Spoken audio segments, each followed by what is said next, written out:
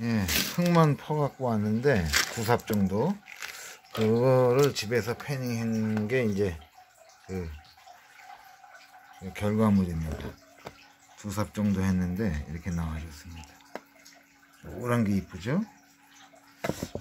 두 삽 정도 해도 이렇게 많이 나오니 뭐 금이 예? 이렇게 많이 나옵니다. 겨울만 아니면 좀 더 나올 텐데 어 어쨌든 이쁩니다. 집에서 패닝하니까 힘도 안 들고 너무 좋네요.